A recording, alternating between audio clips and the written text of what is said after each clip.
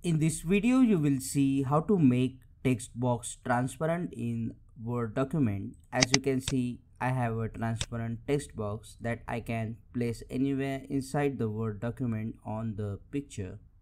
And I will also show you how to add border to this transparent text box. Let's get started. To make text box transparent, go up to the insert option you will see this text box option. Click on the drop down menu and you will see draw text box. Now draw a text box. By default this will be filled with the white color. Now type inside the text box. Select the text. Go up to the home option and center align the text. Now right click on the text box, go up to the format option. You will see here two options, fill and line.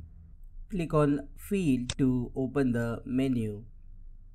And here is the transparency option. You can increase the transparency up to 100% like this. You can change the color of the text and then increase the transparency so you can see that under the dark background the box has become transparent. And if you want to change the line color you can change it from here and increase the line thickness if you want to like this. You can play around with different colors. For example i will select here the red color and we can adjust the transparency of the fill color inside the text box. Like the video and comment below if this video solves your problem and don't forget to check out these videos shown on screen to know more about Microsoft Word.